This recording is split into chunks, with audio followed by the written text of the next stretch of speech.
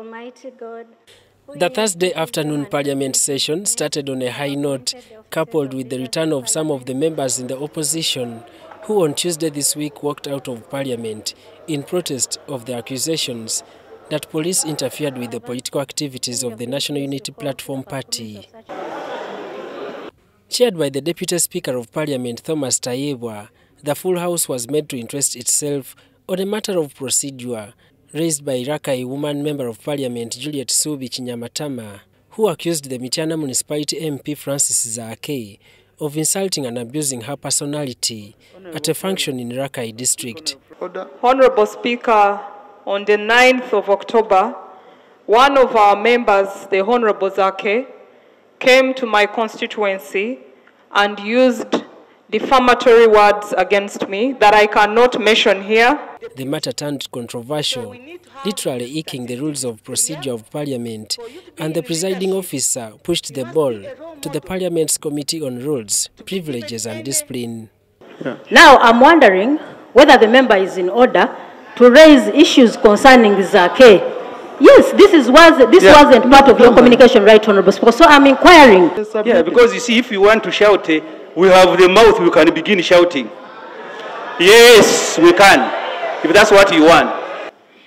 So, honorable colleagues, if you think that you're going to go out and you do whatever you do that affects the image of parliament, and you say, I did it from outside, you can't touch me, uh, kindly we will apply our rules. Kinyamatama requested that the video recording accusing MPs Zaake be played, leading to a commotion which forced the Deputy Speaker to suspend the House for some time. I was suspended for 10 minutes.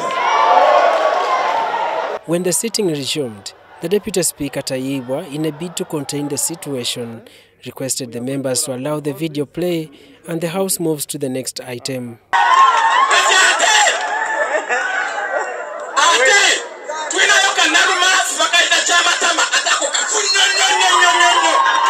But the next detail, which was the statement by the State Minister for Internal Affairs, David Muhoozi, on the security handling of the National Unity Platform political activities, faced resistance from the members whose attitudes were beyond control.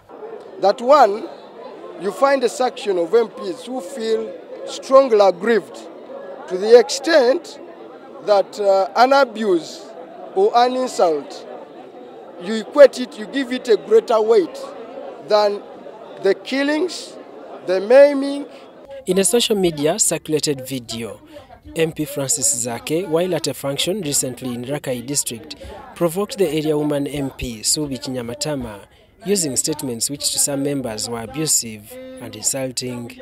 I will do whatever it takes to have justice as a woman and on behalf of the women of this country. And that is why you saw all women in this house support the cause of fighting against anyone who touches the dignity, the dignity and the reputation of a woman in this country.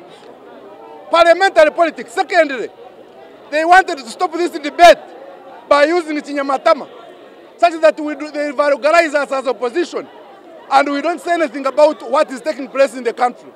The Deputy Speaker, Thomas Tayebwa, then prematurely adjourned Parliament to next week after the commotion was fueled by fist fights when some members attacked and started beating up MP Zaake from his seat.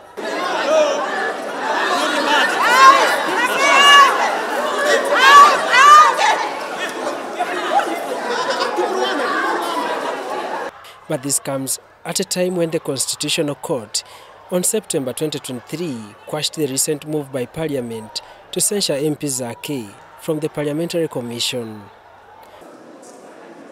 Daniel Mugoya, Gloria Gutabinji, UBC News.